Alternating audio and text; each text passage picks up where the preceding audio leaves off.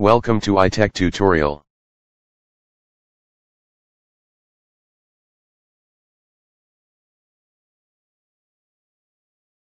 In this video, I will be showing you how to draw a particular mechanism locus.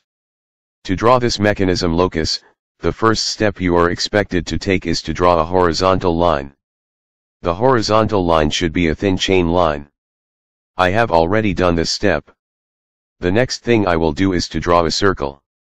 The center of the circle must be on the horizontal line. I will draw a circle of radius 30 millimeters.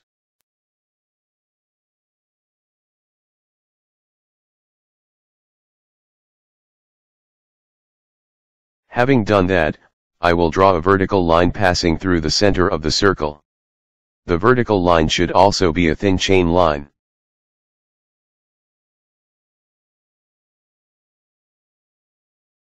I will label the center of the circle O. The next thing I will do is to draw lines to divide the circle into 8 equal parts. This step can be done using a 60 degree set square and a T-square.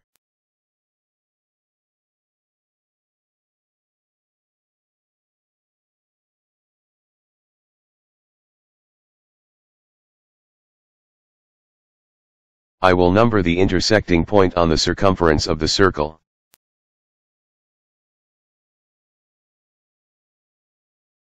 Having done that, I will draw a line of length 115 millimeters. The line should touch the horizontal line and should intersect point 0 such that the end of the line will be 20 millimeters from point 0. The line should be a thick continuous line.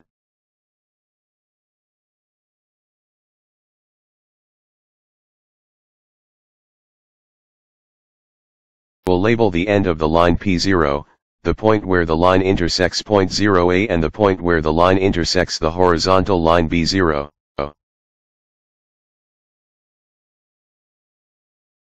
I will make line OAO bold.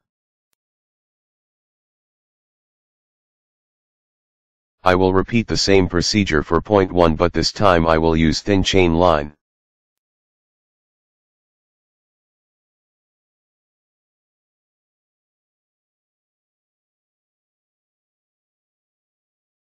I will follow these same procedures for the other intersecting points on the circumference of the circle.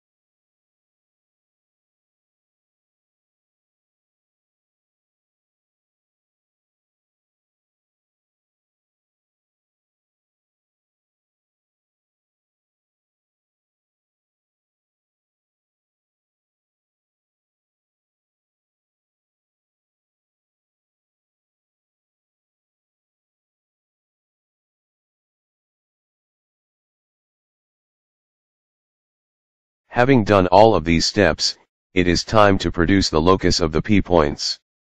To produce the locus of the p-points, a curve should be drawn passing through all the p-points. I will perform this step using French curves.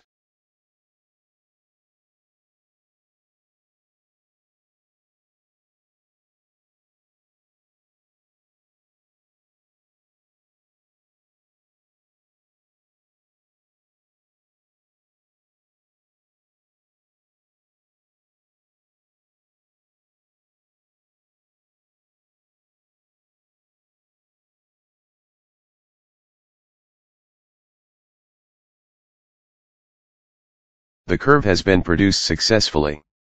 So, this mechanism problem has been drawn successfully. Thank you for watching this video. If you have any question, you can drop it at the comment section. Please subscribe to this channel. Also let us know your opinion and how you feel about this video.